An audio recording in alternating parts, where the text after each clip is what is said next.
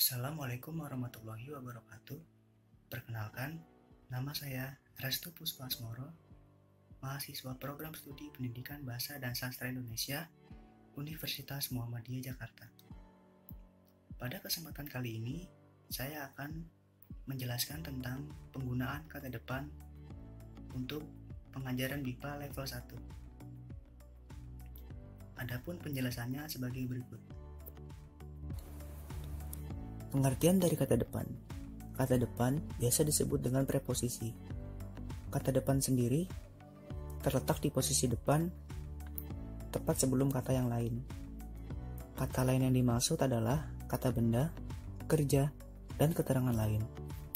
Kata depan ini akan berfungsi memperkuat makna kata yang ada di belakangnya. Adapun kata depan yang paling umum digunakan pada bahasa Indonesia. Yang pertama, di, yang kedua ke, yang ketiga dari, yang keempat pada, lalu yang kelima kepada. Adapun contoh pada penggunaan preposisi antara lain preposisi di digunakan untuk menyatakan tempat terjadinya peristiwa atau tindakan. Seperti pada kalimat yang pertama, saya makan di kantin. Lalu yang kedua, ayah saya bekerja di kantor. Preposisi ke digunakan untuk menyatakan tempat yang dituju. Seperti pada kalimat yang pertama, saya pergi ke kampus.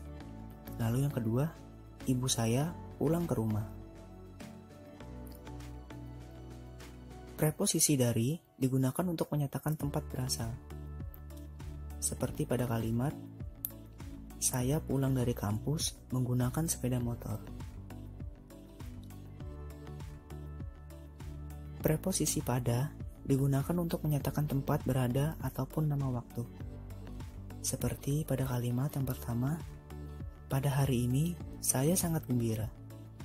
Lalu yang kedua, pada hari Senin adikku ada tes wawancara kerja. Lalu yang terakhir, preposisi kepada Preposisi kepada digunakan untuk menyatakan sesuatu terhadap subjek yang dituju. Seperti pada kalimat yang pertama, aku berdoa kepada Tuhan agar dia selalu terlindungi. Yang kedua, surat itu ditujukan kepada ibu dosen.